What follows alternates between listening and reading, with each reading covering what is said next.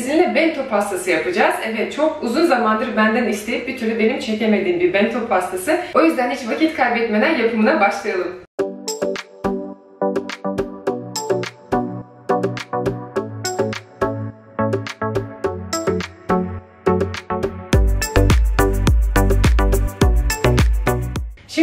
Pastası için ben pandispanya pasta keki kullanacağım. Fakat bu pandispanyanın içine ben biraz sıvı yağ koyacağım. Fakat siz bu sıvı yağını koymak zorunda değilsiniz. Yani aynen bu ölçülerde sadece sıvı yağ çıkartıp sadece sıvı yağ olmadan pandispanya kekinizi yapabilirsiniz. Çünkü ölçüleri ona göre ayarladım. Fakat ben kekin biraz bir tık daha tok olmasını istediğim için sıvı yağ ekliyorum ama dediğim gibi siz kullanmayabilirsiniz. Bugün pandispanyamı yaparken yumurtalarımı tüm kullanacağım.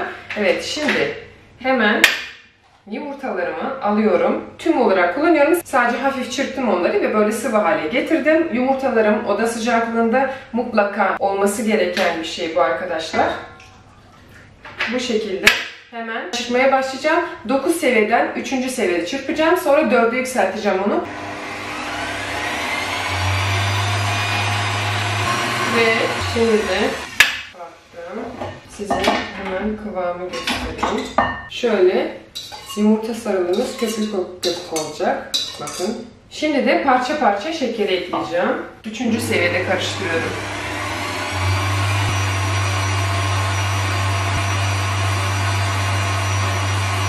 Bu arada hemen şekerle beraber vanilini de ekliyorum. Ve şekeri eklemeye devam ediyorum. Şimdi de bütün şekerimi ekledikten sonra hızlı dörde yükseltiyorum. Şimdi yumurtalarımız olmak üzere o sırada ben unumu içine kabartma tuzunu da ekleyip karıştıracağım. Unumuz mutlaka elenmiş olmalı. Ununuzu elerken kabartma tuzunu da içine koyarak eleyebilirsiniz. Ben onu unuttuğum için şu an sonradan ekliyorum. Hemen unla kabartma tuzunu iyicene karıştırıp o şekilde ekleyeceğim hamuruma. Da güzel bir şekilde çırpıldı. Şöyle bir kıvama ihtiyacımız var. Pufidik, pufidik. Ve şöyle yaptığınız zaman iz kalmalı hamurunuzda. Şimdi hamurumuza eklememiz gereken un ve yağımız kaldı. Yağ dediğim gibi eklemeyebilirsiniz ama eğer yağ ekleyecekseniz de nasıl eklemeniz gerektiğini de hemen göstereceğim onu. Ama öncelikle unumuzu ekleyelim. İki aşamalı şekilde ve karıştırıyoruz. Aşağıdan yukarıya doğru yuvarlak hareketlerle yumurtalarımızı söndürmemeye dikkat ederek evet şimdi de ikinci parçayı da ekleyip karıştırmaya devam ediyorum. Evet şimdi unu karıştırdım. Kıvam bu şekilde. Şimdi de yağımı ekleyeceğim. Ama yağ nasıl ekliyorum? Hemen yağımı alıp içine boşaltmayacağım. Öncelikle şu unun olduğu kabın içine biraz bu harcımdan alıyorum. İçine yağımı ekliyorum. Karıştırıyorum. Ve yağımı hamura yedirdim. Ve bu şekilde hamuruma boşaltıyorum. Ve karıştırmaya devam ediyorum. Evet bakın gene aşağıdan yukarıya doğru yuvarlak hareketlerle. Öteki türlü eğer yağ hemen direkt eklerseniz hamurunuza hamurunuz yorulur ve söner. O yüzden yağ mutlaka benim gösterdiğim gibi ekleyin ki hamurunuz sönmesin. Ve şimdi de hamurumuzu tepsimize alıyoruz. Tepsinin içine yağlı kağıt var. Şöyle boşalttım. Şimdi de onu eşit bir şekilde tepsimize yaymamız lazım. Bunu da spatula yardımıyla yapıyorum. Şimdi de hamurumu önceden ısıtılmış 180 derecelik fırına vereceğim. Pasta kekimiz pişerken biz iç dolgumuzu yapacağız. Bunun için şöyle meyvemiz var. Ben vişne kullanacağım. Vişnenin yerine başka meyve de kullanabilirsiniz. Hiç problem değil. Öncelikle vişnemi tencereme alıyorum. Bu vişne dondurulmuştu, açıldı. ekledim. Bu meyvelerimizle vişne püresi yapacağız. Çok hafif ısınması gerekiyor. O sırada hemen şekerimi nişastanın içine boşaltıp karıştırıyorum. Bunu neden yapıyorum? Şekerle nişastayı karıştırırsanız nişastanız pürenin içine topaklanmaz. Karıştırdım ve ekliyorum. Ve meyveli karışımı sürekli karıştırarak o istediğimiz hafif böyle katı kıvamını aldırıyoruz. Bitti. Ve iç dolgumun pişmesi bitti. Bakın şöyle bir kıvam alıyor. Hemen blenderdan geçiriyorum. Bakın şöyle meyve püremiz oldu. Şimdi de onu hemen krema torbasına doldurup soğutacağım. Evet ve vişneli iç dolgumuz hazır. Onu kullanmadan önce oda sıcaklığını getirmemiz lazım. O sırada biz kremamızı yapacağız. Ve şimdi de pastamızın iç kremasını yapacağız. Bu krema çok lezzetli, çok pratik ve yapımı çok kolay. Hemen sütümüzü, soğuk süt, sütünüz çok soğuk olmalı. Kabımıza boşaltıyoruz. Ve içine krem şantimizi boşaltıyoruz. Krem şantim de bu. Hemen göstereyim çünkü markayı soruyorsunuz. Hemen içine boşalttım ve çırpıyorum. Bakın böyle bir kıvama ihtiyacınız var. Ters çevirdiğiniz zaman hiçbir şekilde oynamasın. Şimdi de çırptığım krem şantiyi kenara aldım ve hemen krem peynirimi çırpacağım. Krem peynirimin markası da şu içim. Şöyle aldım. Şimdi bunu çırpacağım. Çırpmayı düşük seviyede yapıyorum mutlaka. Evet krem peynirimi çırptım. Bakın şöyle bir kıvam. Çok fazla çırpmıyoruz. Çünkü daha krem şantiyle çırpacağımız için bir pay bırakmamız lazım. Ve şimdi de krem şantiyi de içine aktarıp karıştırmaya devam edeceğiz. Şimdi de ikisi karışana kadar çırpıyoruz. Evet çırpmayı bitirdim ve kremamız hazır. Hemen kıvamını göstereyim. Bakın yumuşacık dondurma kıvamında bir kremamız oluyor. Bakın. Şimdi de pasta kekimizi fırından çıkartmaya gidiyorum. Ve pasta kekimiz de bir güzel pişti. Şu an ızgara telin üzerine dinleniyor. Şimdi de pasta kekimizi yağlı kağıttan ayıracağız. Fakat bunu nasıl yapacağız? Her zaman pasta kekini yağlı kağıttan değil de yağlı kağıdı pasta kekinden çıkartmaya özen gösterin ki kekiniz yırtılmasın. Şöyle çekelim. Hop. Bakın şöyle güzel bir pandispanemiz oldu. Tersten de bu şekilde görünüyor şu an. Şimdi de pastamızı toplamaya başlayacağız. Hemen pasta kekimi göstereyim size. Bakın şöyle kabuğunu da aldım. Daha doğrusu tepesini ve şöyle bir esneklikte oluyor pandispanyamız. İstediğimiz çapta pasta kekimizi kesmek için şöyle bir plastik yuvarlak halkaya ihtiyacımız olacak. Plastik halkanın da çapı tam 10 santim canlar haberiniz olsun. Ve şimdi de bu halkamızla güzel yuvarlaklar keseceğiz. Ve bu şekilde böyle 10 çapında bu kadar pasta kekimizi çıkarttık. Bu da üçüncüsü. Hemen yüksekliklerini de göstereyim size. Şöyle yaklaşık 1-1,5 santim kadar yüksekliğimiz var. Öncelikle bu şekilde pasta altlığı ayarlıyoruz. Bu pasta altlıkları 10 santim çaptan bir tık daha büyük arkadaşlar bilginiz olsun. Biraz krema sürüyoruz pasta altlıklarımıza. Veriyoruz. Ve pandispanyamızı yerleştiriyoruz. Ve kremamızı koyuyoruz. Ve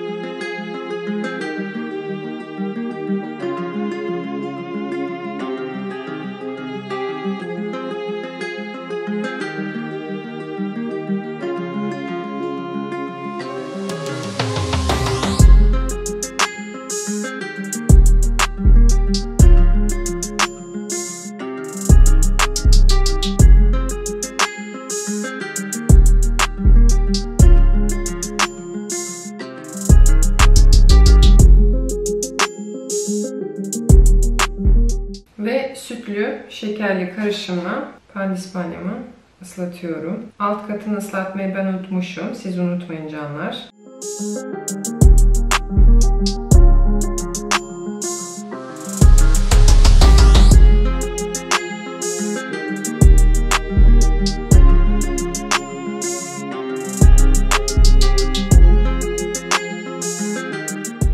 Şimdi de bu güzelleri sabirleşmeleri için yaklaşık 2 saatliğine buzdolabına kaldırıyorum.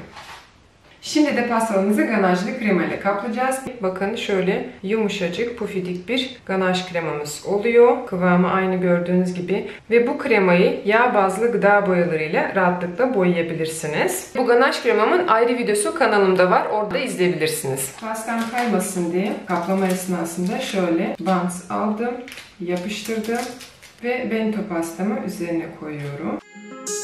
Evet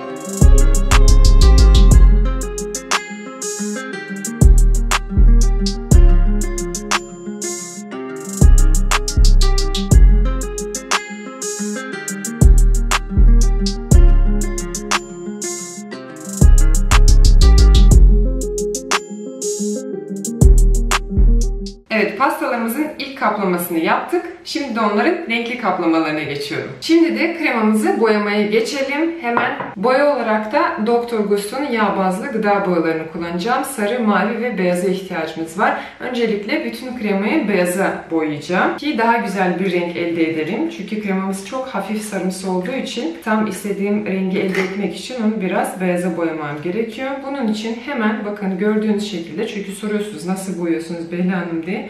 Hemen böyle atıyorum. Ve spatula yardımıyla hemen bütün kremaya karıştırıyorum.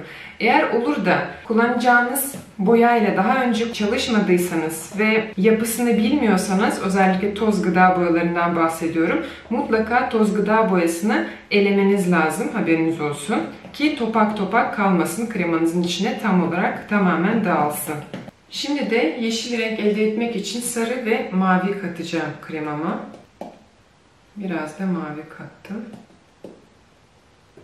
Şöyle şimdi de karıştıracağım.